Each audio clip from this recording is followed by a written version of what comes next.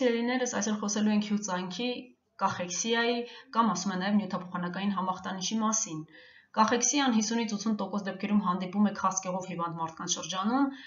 Կախեքսիայի թե տարածվածությունը, թե ծանրությունը կախված են քաղցկեղի տեսակից։ Կախեքսիայի ժամանակ տեղի ունենում լիպոդիստրոֆիա, ճարպային հյուսվածքի արագ քայքայում, տեղի ունենում նաև մկանային հյուսվածքի դեգրադացիա, մկանային հյուսվածքի քայքայում։ Ահա այս ամենի մասին մենք խոսենք այսօր։ Իրականում կախեքսիան իրենից ներկայացնում է օրգանիզմի էներգետիկ անհավասարակշռություն, եւ կախեքսիան սննդային ճարպի ընդունման քանակի եւ էներգիայի ծախսի անհամամասնությունն է։ Դա հանգեցնում է տարբեր հյուսվածքների, այդ թվում գլխուղեղի, մկանային եւ ճարպային հյուսվածքների պրոգրեսիվ քայքայման։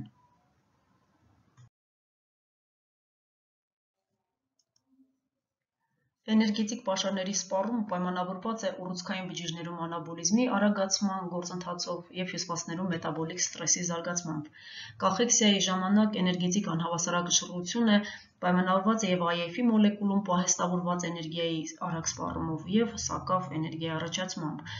Ուռուցքային բջիջները արագորեն բաժանվում են, հետեւաբար նրանց մոտ անաբոլիկ ռեակցիաները գերազանցում են կատաբոլիկ ռեակցիաներին, այսինքն սինթեզի ռեակցիաները գերազանցում են քայքայման ռեակցիաներին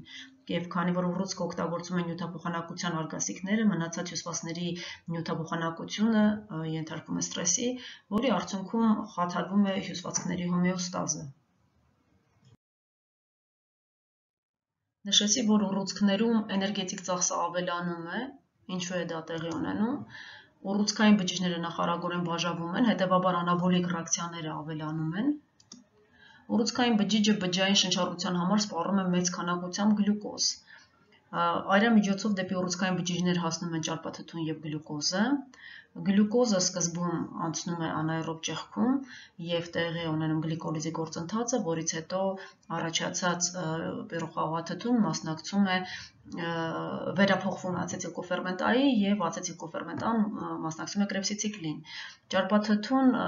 որը արդեն ուռուցքային բջջում է, եւս շատ կարեւոր է կրեպսի ցիկլի գործընթացի համար, ինչպես նաեւ ամինաթթունները։ Ինչ վերաբերվում է սպիտակուցի կենսասինթեզին, նշեմ, որ շատ կարեւոր է այստեղ գլուտամինի արկայությունը, իսկ գլուտամինը արյան միջոցով ուռուցքային բջիջներ հասնում է շատ արագ եւ սպիտակուցի կենսասինթեզի գործընթացները ակտիվանում են։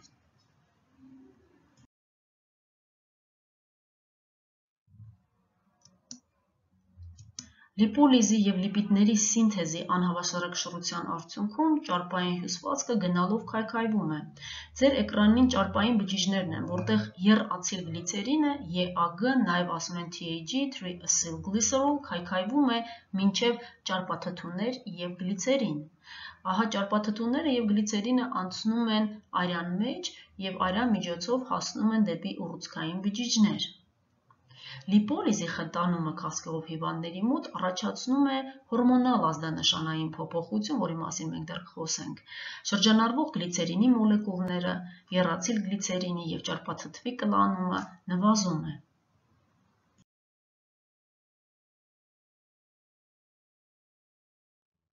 Բորբոքային գործընթացի արդյունքում արտադրված ցիտոկինները կապվում են ճարպային բջիջների մակերեսին գտնվող ընկալիչների հետ, որի արդյունքում լիպոլիզը, ճարպային հյուսվածքի քայքայումը ակտիվանում է։ Եռացիլ գլիցերինների սինթեզը նվազում է, ճարպաթթուները, որոնք առաջացել են եռացիլ գլիցերինի քայքայման արդյունքում, լիպոլիզի արդյունքում, անցնում են այրուն եւ արյան միջոցով հասնում են դեպի ուռուցքային բջիջներ։ Այժմ խոսենք ուռուցքային բջիջներում գլիկոլիզի մասին։ Գլիկոլիզի արդյունքում առաջանում է 2 մոլ պիրոխաղաթթու եւ 2 մոլ պիրոխաղաթթվից առաջանում է կաթնաթթու։ Ընդ որում կաթնաթթվային խմորման ժամանակ IF չի առաջանում, իսկ գլիկոլիզի ընթացքում առաջանում է 2 մոլ IF։ Կաթնաթթուն, որը առաջացել է կաթնաթթվային խմորման արդյունքում, անցնում է արյուն ուռուցքային բջիջներից, այրան միջոցով կաթնաթթուն հասնում է լյարդ, լյարդային հյուսված, կաթնաթթվից առաջանում է գլյուկոզ։ Ճարպային բջիջներում առաջացած գլիցերինը եւս հասնում է դեպի լյարդ, գլիցերինից եւս առաջանում է գլյուկոզ եւ այս գործընթացը կոչվում է գլյուկոնեոգենեզ։ Ճարպային հյուսվածքի ակտիվ քայքայումը հանգեցնում է լյարդում իրականացվող գլյուկոնեոգենեզի, որի ժամանակ լյարդում գլիցերինից առաջանում է գլյուկոզ եւ ահա այս գլյուկոզը արյան միջոցով հասնում է ուռուցքային բջիջներ գործընթացը, որի ժամանակ գլյուկոնեոգեն ելանյութերից կամ պրեկուրսորներից սինթեզում է գլյուկոզ եւ տեղաբաշխվում այլ հյուսվածքներ, կոչվում է կորի ցիկլ։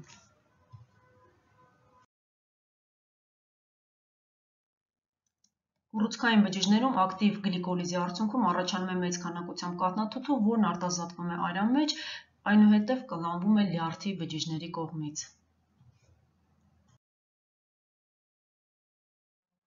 Սպիտակուցների կենսասինթեզի համար շատ կարևոր է գլուտամինը եւ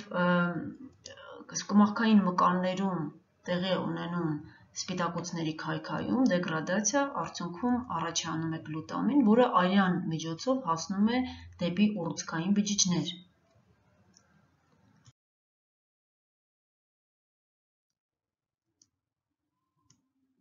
Բորբոքային գործընթացի արդյունքում ցիտոկինների արտադրությունը խթանվում է, տեղի ունենում բջջի կենսաբանական մահ, ապոպտոզ։ Մկանային բջիջները քայքայվում են, առաջանում է գլուտամին, գլուտամինի կոնցենտրացիան արյան մեջ մեծանում է, գլուտամին արյան միջոցով հասնում է ուռուցքային բջիջներ եւ խթանվում է սպիտակուցի կենսասինթեզի գործընթացը։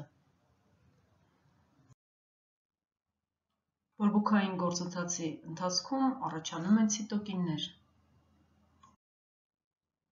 Բորբոքային գործընթացի ընթացքում առաջացած ցիտոկինները կապվում են ուռուցքային բջիջների թաղանթի վրա առկա ռեցեպտորների հետ, արդյունքում Chi-space-ները ակտիվանում են, ասում են անգլերենում K-spaces, սրանք ֆերմենտներ են, որոնք բերում են ապոպտոզի։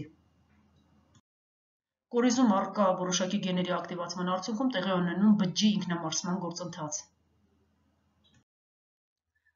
Սպիտակուցների քայքայման գործընթացի արդյունքում առաջանում է գլուտամին, որը անցնում է դեպի արյուն։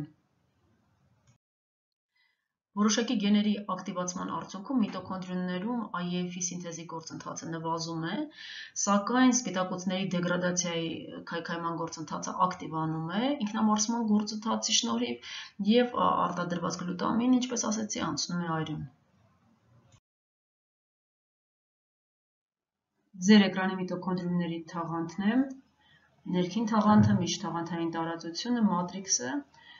էլեկտրոնների դոնորները, ինչպեսիք են նաթաշ և պաթաշ երկուսը, բերում են դեպի միտոքոնդրիումների կրիստալներ, էլեկտրոններ և H պլյուս իոններ, H պլյուս իոններ անցնում են սպիտակուցային անցուղիով և կուտակվում միջթաղանթային տարածությունում։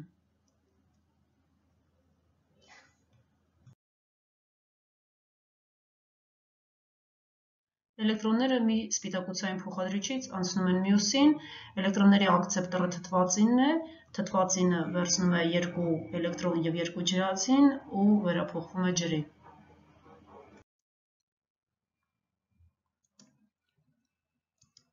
H իոնները կուտակվելով միջտաղանթային տարածությունում շատանում են եւ նրանց կոնցենտրացիան այնքան է մեծանում, որ կոնցենտրացիոն գրադիենտի ուղղությամբ H+ իոնները անցնում են IEF սինթազ ֆերմենտի անցուղիով։ Ինչպես գիտեք, ֆերմենտը սկսում է աշխատել եւ ադենոզին կրկնաֆոսֆորական թթուն ֆոսֆորիլացվում է միջև ադենոզին երֆոսֆորական թթու։ Ասեմ, որ թաղանթում բացի IF սինթազ ֆերմենտից գոյություն ունեն նաև այլ սպիտակուցային խողովակներ եւ անցուղիներ, որոնց միջոցով H+ իոնները կարող են անցնել։ Երբ որ H+ իոնները անցնում են սպիտակուցային անցուղիով, որը արդեն բացվել է, անջատվում է ջերմություն։